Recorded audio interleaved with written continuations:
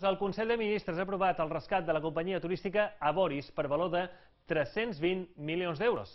El Fons per a la Solvència de les Empreses Estratègiques li concedirà dos préstecs. Un de participatiu per valor de 163 milions i un altre d'ordinari per 157 milions. Aboris Corporation és el resultat de la fusió de les divisions de viatges dels grups Barceló i Globalia. Inclou les marques Vida Travel Brand, Alcom Viajes i Viajes Ecuador, entre d'altres.